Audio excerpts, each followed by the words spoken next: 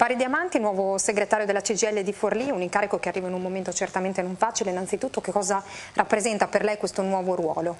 Beh, certamente è fonte di soddisfazione unita al grande senso di, di responsabilità che avverto in questo momento. Eh, vorrei cogliere l'occasione per ringraziare una persona innanzitutto, Enzo Santolini, con cui eh, in questi anni abbiamo condiviso battaglie, idee, iniziative, eh, che ha permesso che questo avvenisse con eh,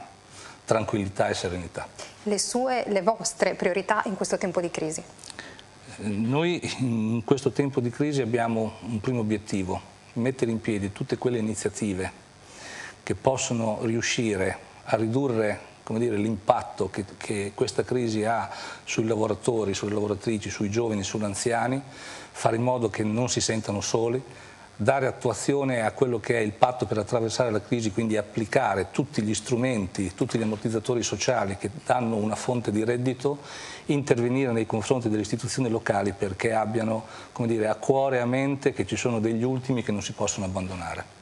Tra chiusure e crisi aziendali i livelli di cassa integrazione restano alti nel territorio forlivese, quali sono le speranze di riassorbimento? È, è un punto critico dove la lettura che ne possiamo fare è quello di un permanere delle difficoltà e degli utilizzi in maniera massiccia degli ammortizzatori, dove magari cala un po' la cassa integrazione ordinaria, che è quella meno grave, ma aumentano le casse integrazione straordinarie, i lavoratori iscritti nella lista di mobilità e i disoccupati, segno che il tempo non è un elemento indifferente e aggrava la situazione complessivamente.